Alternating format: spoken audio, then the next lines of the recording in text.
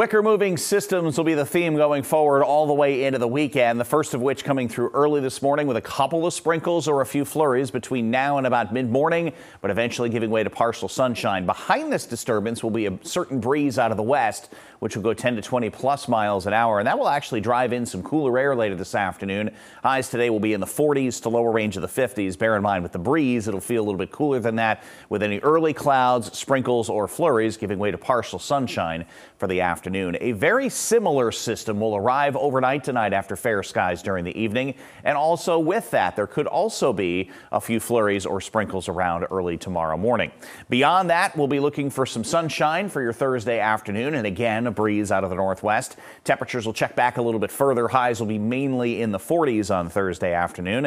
And it looks like we'll be in the 40s again on Friday. That will be a little bit of a different day as we'll start with sunshine but we'll be adding clouds through the afternoon. And there will be a system passing to our south later Friday evening. And the maps are mixed, but it could be close enough that that could be a little bit of a mixture of some light rain and some wet snow later Friday night or very first thing Saturday morning before pulling away, clearing skies and breezy Saturday afternoon, and sunshine giving way to clouds Sunday with another system trying to arrive Sunday night and early Monday. So again, the ups and downs of the April showers. An early shower to partial sunshine, breezy, cooler today. Highs will be in the 40s to near 50 degrees before dropping into the 20s to lower 30s tonight.